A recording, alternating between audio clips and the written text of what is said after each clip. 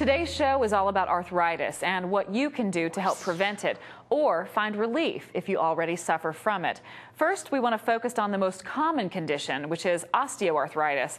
And sorry to be the bearer of bad news, ladies, but according to the American Academy of Orthopedic Surgeons, we women are most likely to suffer from it. Osteoarthritis is a disease that affects joints, which Cheryl Blanchard studies carefully as the chief scientific officer at Zimmer, a company known as a worldwide leader in joint replacement solutions for knee and hip pain. You end up with exposed bone and that bone, when you walk or you move, tends to rub on the opposing bony surface, and that's what generally causes pain, inflammation, achiness, and swelling of the joints. There are many causes of osteoarthritis from your age, weight, body type, joint alignment, activity level to prior trauma, but your gender may be the first sign that you are more at risk. But one of the big things for women is just the alignment of their body and their body type. Women tend to live longer than men, and as a result, they simply have more osteoarthritis than men do. Symptoms often develop slowly and get worse over time. You may feel pain in the joint during or after activity, or when you've been inactive. Your joints may feel stiff or tender, or you may experience a loss of flexibility or swelling. Arthritis has no cure, but it can be treated. Certainly, I'm not a medical doctor, but the American Academy of Orthopedic Surgeons reports that early detection and early intervention of osteoarthritis can lead to the slowing down of the progression of that disease. Talk to your doctor about treatments. In the early stages, non surgical options such as pain medications, physical therapy, weight loss, and lifestyle changes may help. If the pain persists or gets worse, surgery is an option. And it's a decision that needs to be made in conjunction with your physician and your family. Surgery is usually reserved for severe osteoarthritis. One of the most commonly replaced joints is the knee, and the number of women having knee replacement surgery is growing. The American Academy of Orthopedic Surgeons reports that out of the half a million total knee replacements performed each year in the U.S., about two thirds of those surgeries are on females. A 2007 study in the Journal of Bone and Joint Surgery showed that women with osteoarthritis tend to delay treatment much longer than men do. In fact, three times as many women forego total knee replacement surgery altogether. Women tend to be the primary caregivers of the home. They also tend to be the people in the household that make most of the medical decisions. Most of the women are thinking, gee, if I go have this surgery, I'm not going to be able to take care of people. There's rehab, there's recovery. I don't have time for that. So they tend to neglect their own medical care in this regard. When a woman finally decides it's time to seek surgery and have a total knee replacement, she really should explore all the options. During a total knee replacement procedure, the part of your bone and cartilage that's replaced in this example here are the parts that are covered by the metal and plastic components. So these parts here are cut away by the surgeon. That represents where the diseased tissue would be in your knee. Historically, the surgeons that perform a lot of to total knee replacement surgeries on both men and women we're starting to see that when they perform total knee replacements on their female patients, they were having to make more bone cuts and do things a little bit differently in the operating room in order to ensure a good fit of that implant on those female patients. A female knee is different from a male knee. There are three primary differences between a female and male type knee.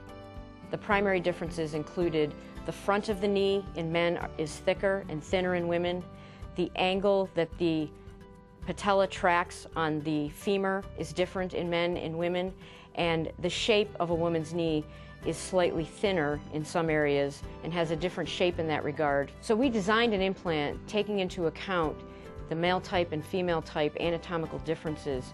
So instead of making the patient fit the implant, we made the implant fit the patient.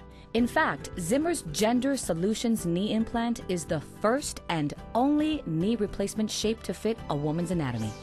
And research indicates that more than 90% of those who get a total knee replacement experience a dramatic reduction of knee pain and a significant improvement in their ability to perform their daily activities. But if the thought of knee replacement surgery still strikes fear in your heart, then you'll want to stay tuned. This woman's inspiring story just may change your mind. It's given me five years back of my life. I feel five years younger now than I did before the surgery.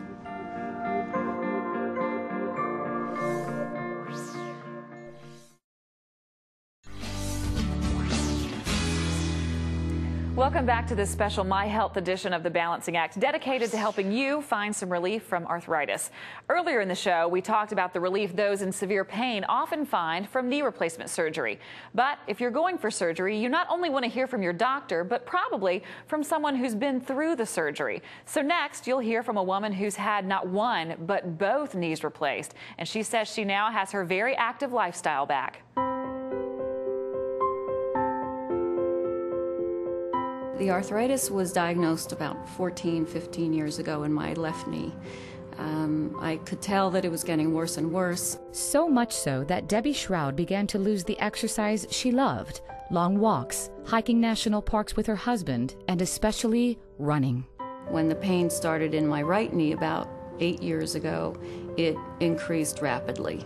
I knew what it was right away, and uh, it just caught up with the other knee very quickly both knees were hurting a lot while I was running, so I said, okay, fine, I guess I just have to stop running, which was very depressing. Uh, stairs were very difficult, very slow, uh, cumbersome. Debi's daily activities often came with terrible pain, which she first treated with over the counter pain medications. Then she was prescribed anti inflammatory drugs, cortisone injections, and finally, physical therapy. Deciding to have surgery is not easy, but uh, when you get to the point where you're in so much pain. you just want to have it done. Finally, in her early 50s, Debi's doctor said there was no cartilage left between her bones and it was time to replace both knees. Then he told her about the Zimmer gender knee. What he said was the doctor said to me that the gender knee is something that is uh, used for women. It's developed with the woman's body in mind. Uh, it's contoured and shaped more like the woman's knee. And I thought that sounded like what I wanted, obviously. Soon after surgery, Debi started rehab. You know, the first few steps were scary. Got me out of bed the first day and uh, made me take a few steps, and I actually took more than a few steps. I actually did pretty well with a walker. It was scary, but it was, uh, it was doable. Three months after the surgery, I was able to ride again without any pain at all. Absolutely, totally pain free. Very comfortable. And then 10 months afterwards, I was in my first horse show. Um, I came in third.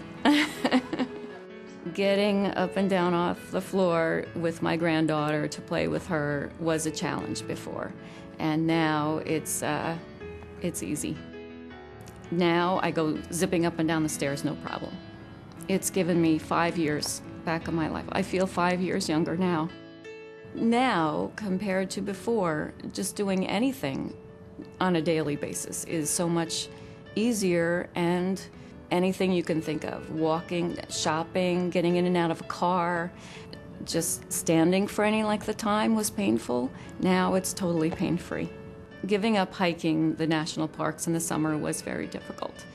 Um, and now it's, uh, it's a joy again.